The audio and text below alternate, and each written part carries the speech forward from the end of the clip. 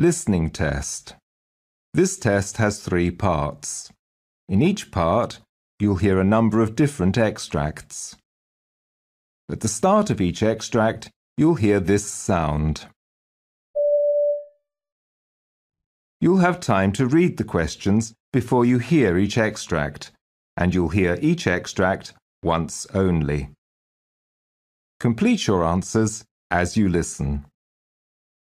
At the end of the test, you'll have two minutes to check your answers.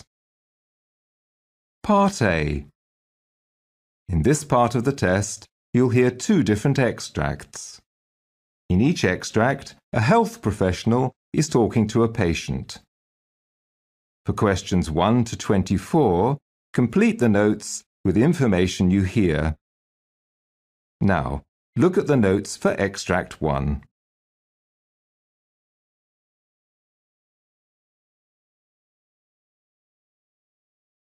Extract 1. Questions 1 to 12. You hear a urologist talking to a patient named Mark Jenkins. For questions 1 to 12, complete the notes with a word or short phrase. You now have 30 seconds to look at your notes.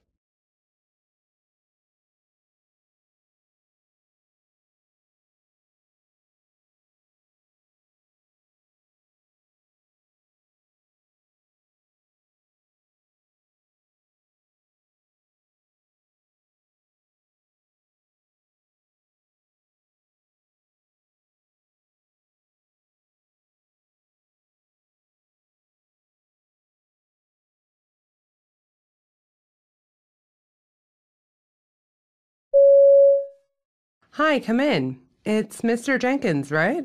Yes, Mark's fine. Sure. Now, Mark, you've been referred to me because you're suffering from urinary incontinence. Yeah, that's right. And you're 38 years of age? Yes. Okay. Well, I have your GP's letter here, but I'd like you to tell me more about this. How long you've had the symptoms, how it's affecting your life, that type of thing. Sure. Well, it's been going on now for about two months, actually. A little longer, I think. At first, I resisted going to see my doctor. I mean, I'm not that old yet and reasonably fit and healthy, and frankly, I was more than a little embarrassed. A guy my age doesn't usually expect to have the same issues as a man twice my age. But eventually it just became too much for me to take, and that's when I sought some advice. Sometimes I could feel it coming, but most of the time it was a sudden burst, so to speak. Okay. Was there a particular trigger? Basically, what happened was I'd recently started a class of CrossFit training. I'm not sure if you're familiar with it, but it's all performed at a high intensity and crosses over various disciplines like weightlifting, rowing, gymnastic type movements, that sort of thing. Well, every time I went to class, I had this really heavy pressure on my bladder, Eventually, right in the middle of weight training, it became so strong that I had no control over it. It just leaked out while I was doing it. Later, I noticed that it had also come on if I had severe coughing fits. That's understandable. And your doctor did some tests? Yeah, so my GP's a great guy and he was really professional about it. I had a prostate exam, the results of which are apparently fine, and it's a normal size and everything. He also got me to keep what he called a bladder diary for a full day and night, which was fine. I recorded how often I went to the toilet normally and also the occasions that I didn't have control. I have all that here for you. Right, that's certainly helpful. Look, you're obviously very fit, but could you tell me some more about your health, especially any past conditions, operations, or if you've ever smoked, that kind of thing? Well, up until five years ago, I was quite heavy. I'm only 170 centimeters tall, and I used to weigh 135 kilograms, so that gives you some idea. I think my BMI was 46 or 47, so I was classified as obese. I haven't had any operations, but my GP at the time confirmed that I had pre-diabetes, which really scared me. I was a pack-a-day smoker, but usually more. I was also a heavy dope smoker and I was in an office job. That's what caused me to overhaul my life, change to a very physical job, and get myself to the gym. What do you do for a living now, then, Mark? I'm a roof tiler. So you can imagine what that's like being on top of a three story building and suddenly needing to go. It's not an easy job to begin with, and this is making it 50 times worse. And has it affected your social life at all? Look, if I'm completely honest with you, my bladder seems to be controlling every aspect of my life. I know that sounds like an exaggeration, but that's how it feels to me. I've already lost a relationship over it, so now I'm single, but I'm still young enough to be out dating and all of that. But the fear that this condition has left me with means that I don't really meet friends very often. It's an enormous burden, I was stuck in a line at a bank the other day and had to leave with a very noticeable wet patch on my pants. I'm scared to leave my home. It can be very burdensome, I know. The good thing is you've taken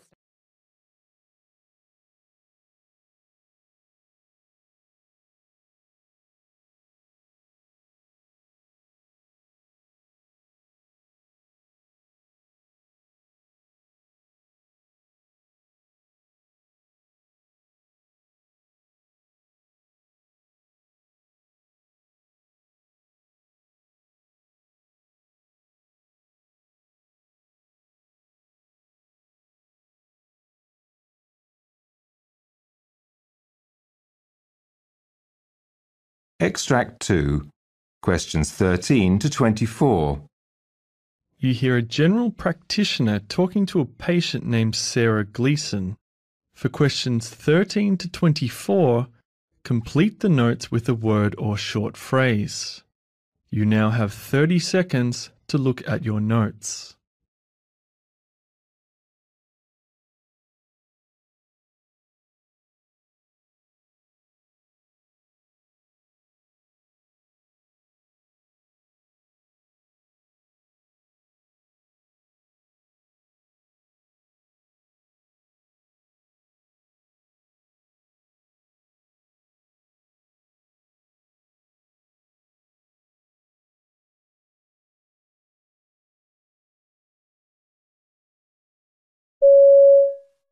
Sarah Gleeson, come in, please. Have a seat.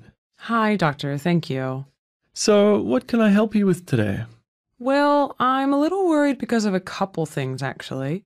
I've been taking a combined oral contraceptive pill called Monofem to help me, well, for more regular periods. They've been a little crazy the last few months, so the last GP prescribed it for me. The first few weeks, I thought I noticed something, like I just felt different somehow, a little off, but I thought it was just my body getting used to it. But it hasn't been getting any better, so I want to check that out. And the second thing is, well, I'm worried I may be pregnant. Okay. Well, look, let's start with how you've been feeling and then we'll move on to that because it will be helpful to establish the symptoms first. Can you describe those for me? Well, the first thing I noticed was these really bad headaches. They kind of spread out all over, but they always start around my right eye, and they just seem to last for hours. I'd take some paracetamol, but nothing would change. I tried drinking more water and just resting in bed. They just kind of stay there, and they're like nothing I've ever experienced before. On top of that, I often get really nauseous as well. I've never actually thrown up, I only get the sensation, kind of like motion sickness. Mm, okay. These symptoms are quite common, actually. Is there anything else? Well, I've definitely put on some weight. I think it's about five kilograms. I just feel really bloated, and I mean, that's a lot to put on in a short time. Until recently, I also noticed some spotting, and it definitely wasn't my period. It just started happening at the oddest and most inconvenient times.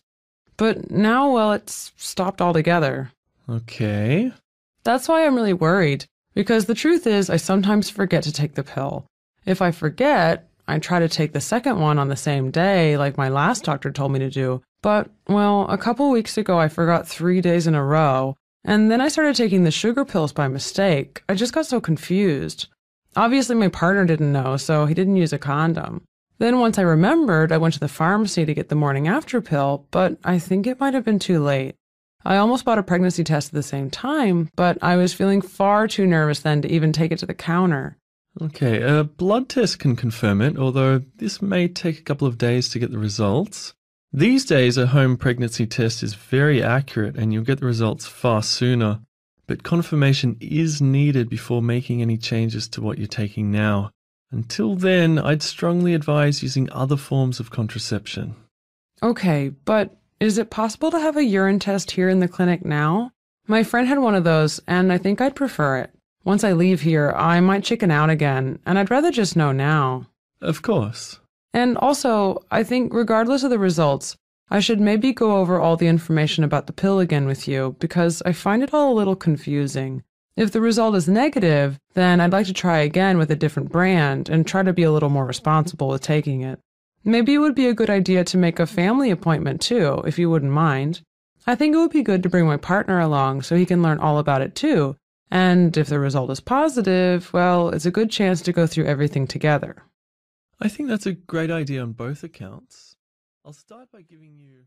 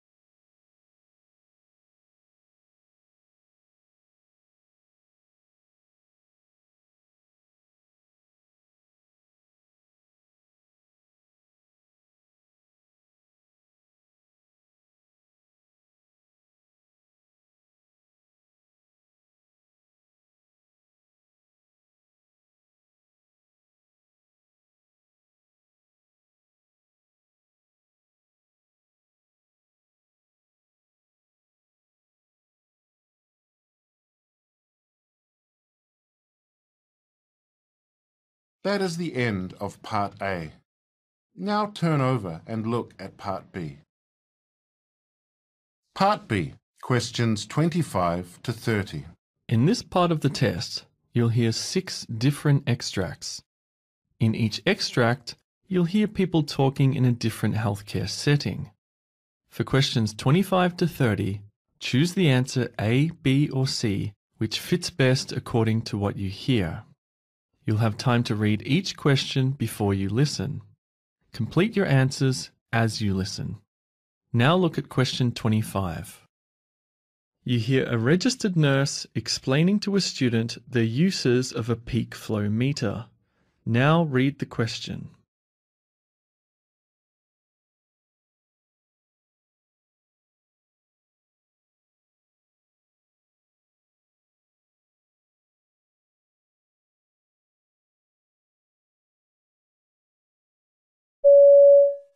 Dr. Matthews wants us to monitor Lucas Young in bed 6 using a peak flow meter. Are you familiar with this device? I've seen them before, but I thought they're only used in special circumstances.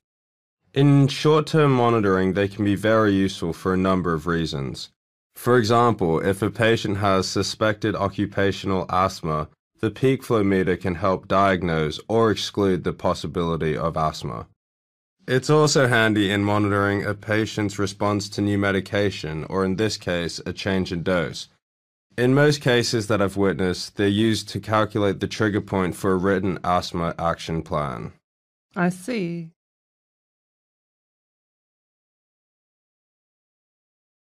You hear an emergency department physician discussing a patient with a colleague. Now read the question.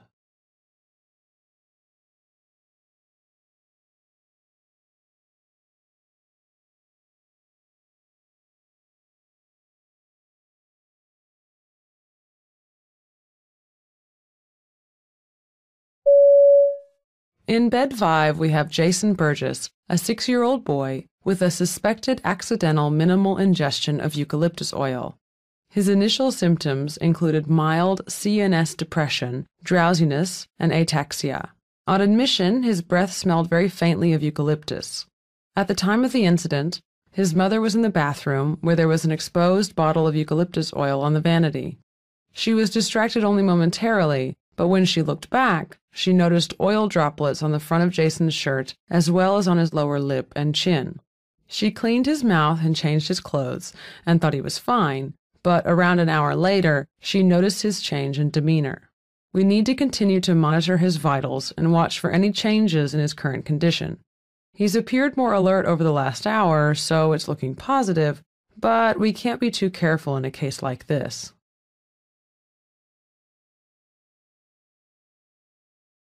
You hear a nurse educator briefing a student nurse about the importance of compression stockings. Now read the question.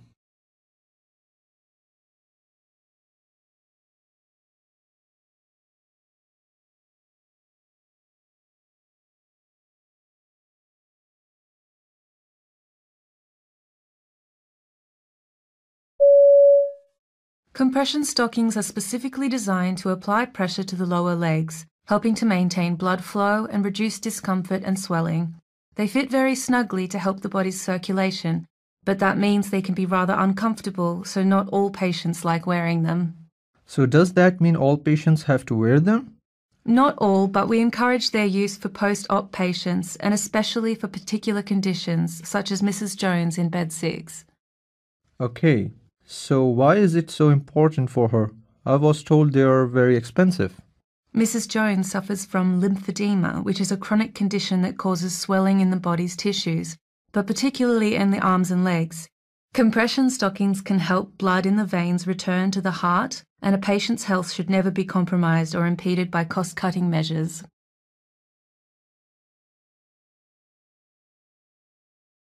You hear an audiometry nurse talking to her colleague about a recent patient. Now read the question.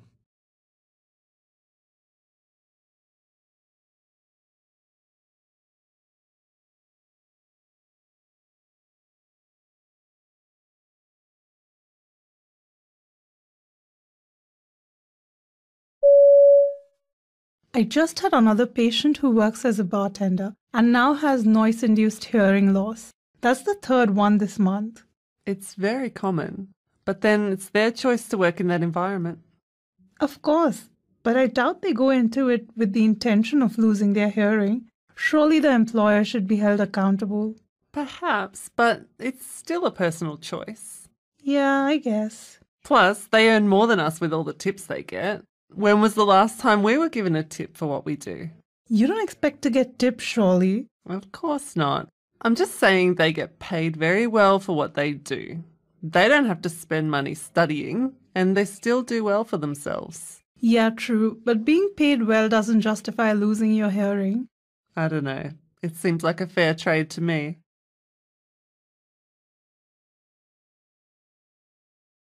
You hear a nurse giving instructions on subcutaneous injections to a patient. Now read the question.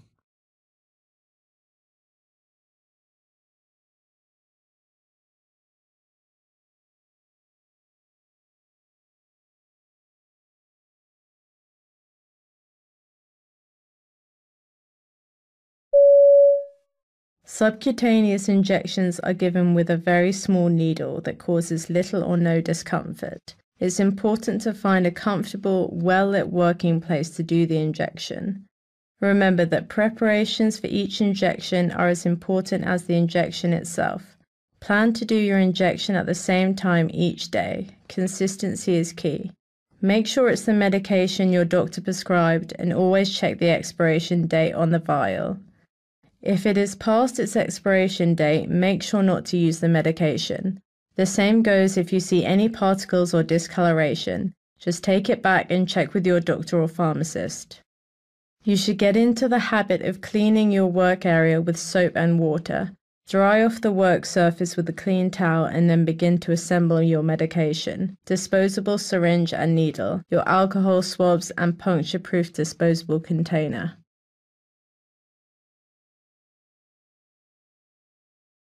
You hear two nurses at a training day discussing a lecture. Now read the question.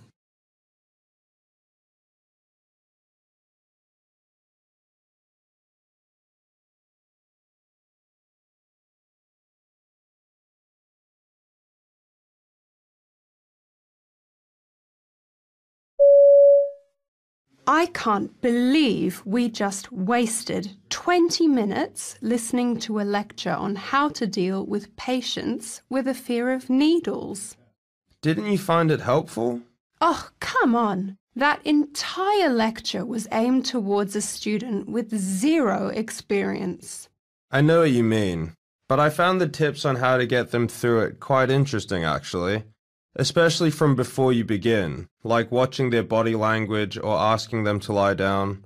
I mean, some patients faint before you even touch the skin. Didn't you already know that? You've been nursing for years. It's so obvious. Of course, it's obvious, but it's good to hear it, especially knowing I'm not alone in finding my patients with needle phobia difficult to handle. I think I should have gone to the respiratory review on lung sounds.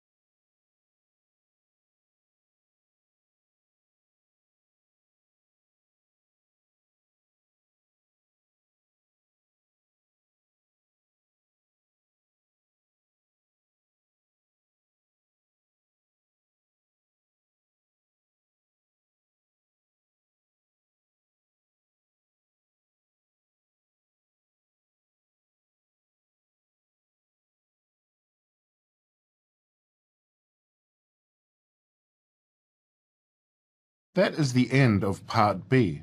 Now turn over and look at Part C. Part C, questions 31 to 42. In this part of the test, you'll hear two different extracts. In each extract, you'll hear health professionals talking about aspects of their work. For questions 31 to 42, choose the answer A, B, or C which fits best according to what you hear. Now look at Extract 1. Extract 1, questions 31 to 36. You hear a clinician called Jonathan Cross giving a presentation to a group of healthcare providers. You now have 90 seconds to read the questions.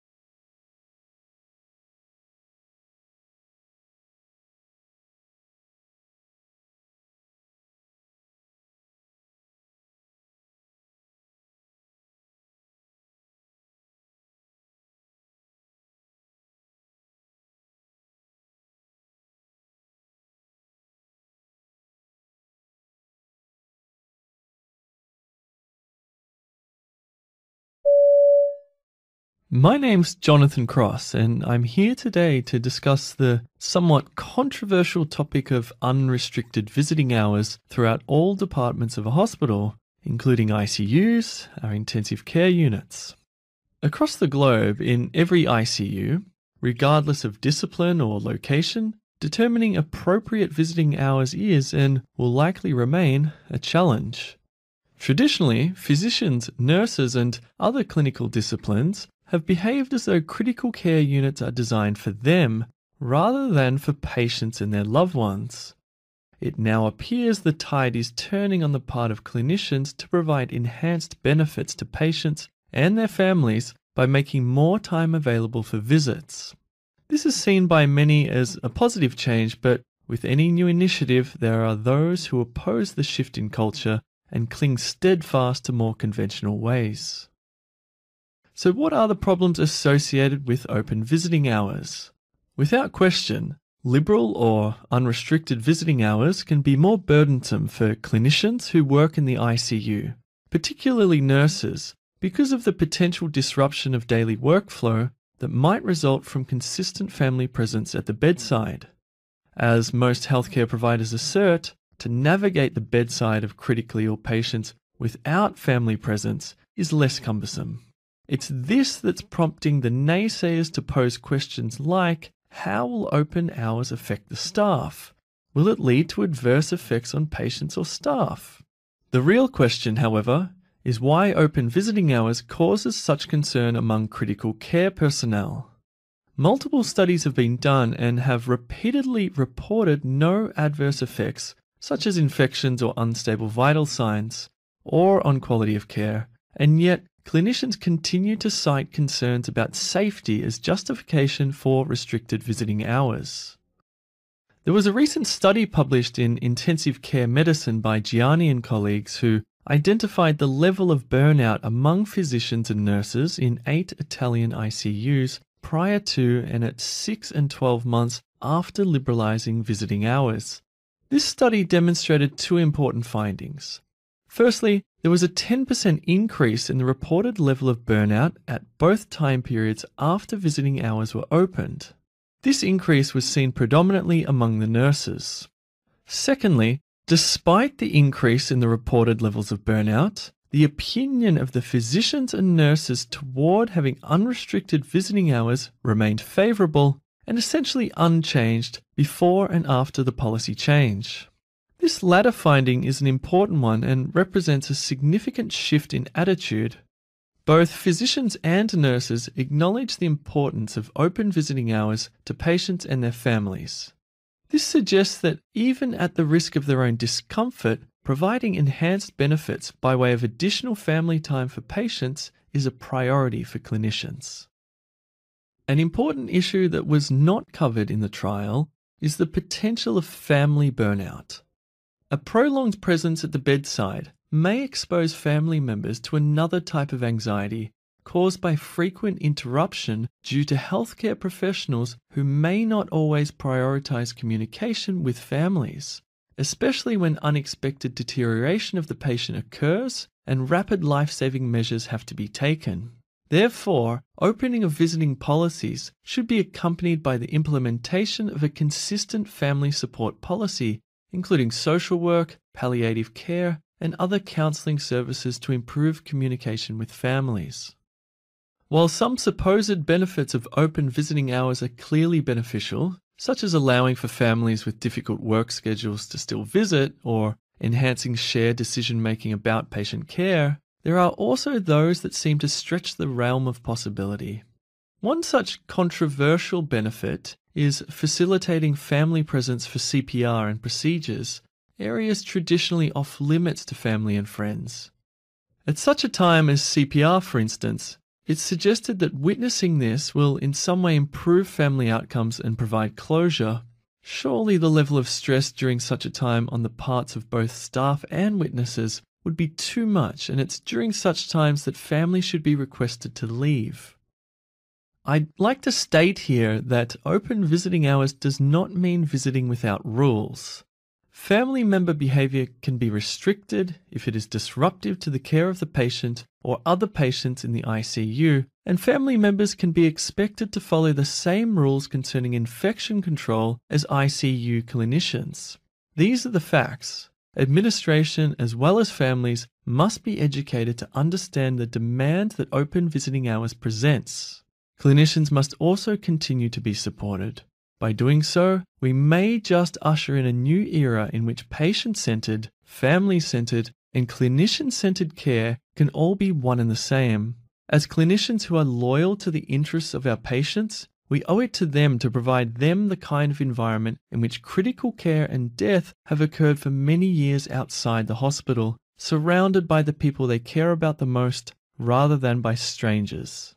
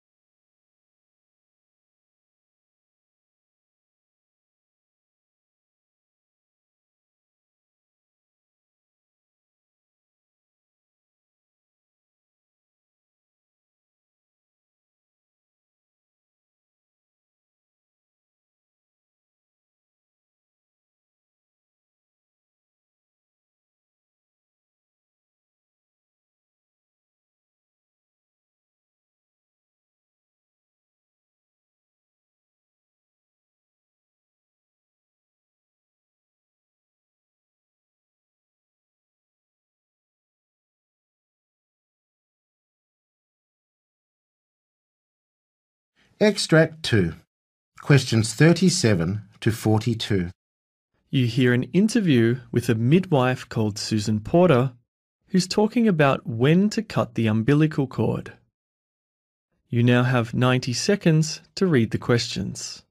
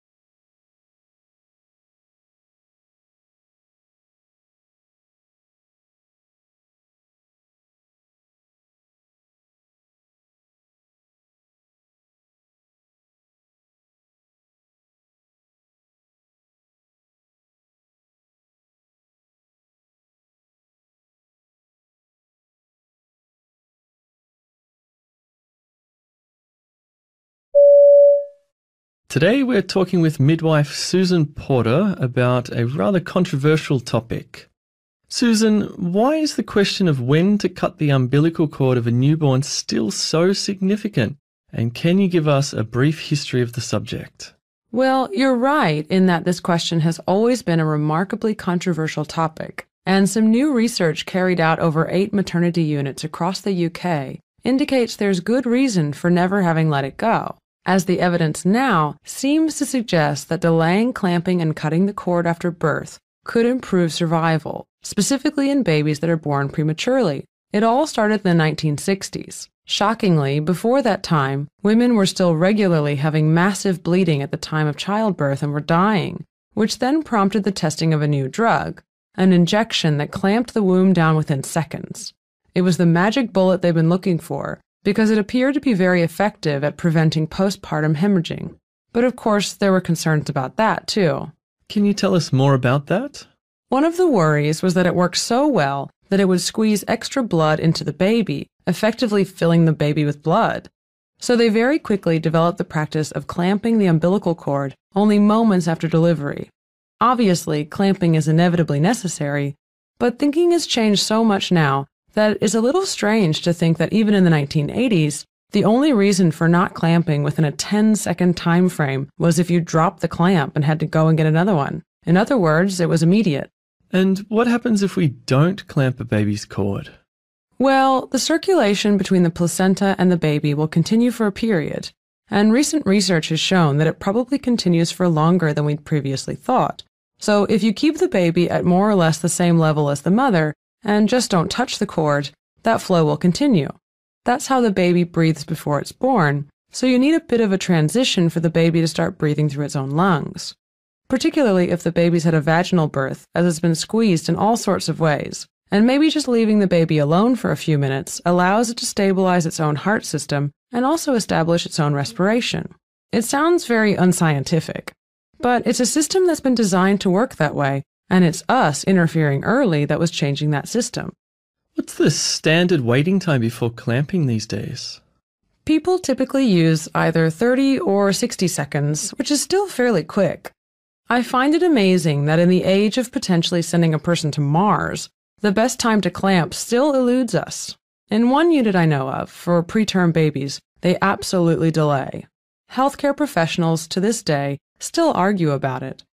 The problem is that there have been dozens of previous trials, and they were very poorly executed.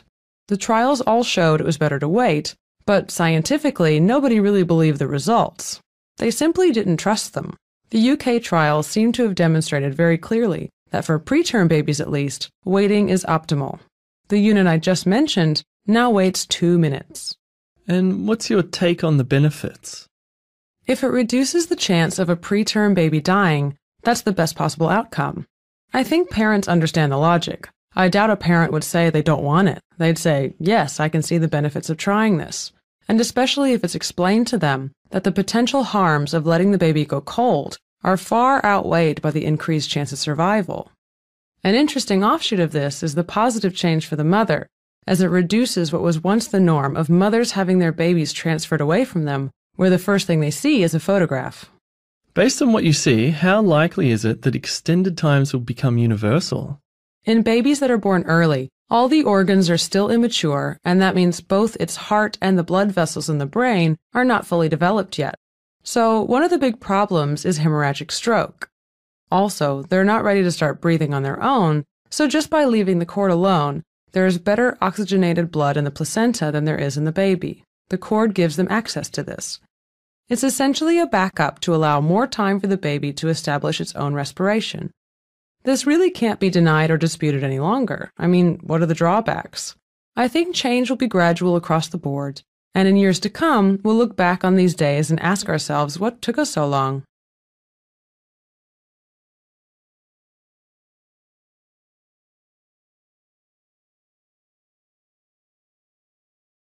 That is the end of Part C. You now have two minutes to check your answers.